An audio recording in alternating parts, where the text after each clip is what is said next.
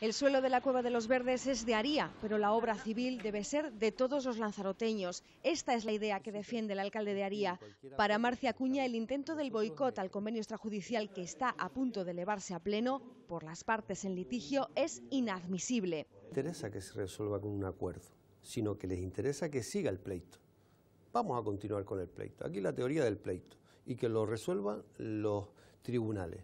Acuña teme la ruptura de la unidad de explotación si el Cabildo no defiende su tesis y ya anticipa que la vía judicial podría complicarse mucho para los intereses generales, especialmente de los arianos. En esa posición no se resolverá porque el Cabildo tiene inventariadas allí las cosas que ha hecho el Cabildo. El alcalde del norte de la isla acusa al concejal del Partido Socialista en Aría, Alfredo Villalba, de mantenerse inflexible y de pedir algo que varios informes técnicos desaconsejan. Eh, está en las mismas tesis que estaba el anterior alcalde.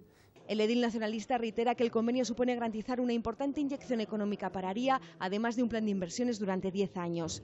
También advierte a los críticos que se siente legitimado por las urnas para llegar a un acuerdo extrajudicial. Porque yo lo dije claro en campaña, yo voy a intentar llegar a un acuerdo razonable y de sentido común para las partes, garantizando y defendiendo los intereses del municipio de Aría. Por último, y ante la crisis, a nivel autonómico de Coalición Canaria y Partido Socialista, Acuña anticipa que el pacto no se romperá.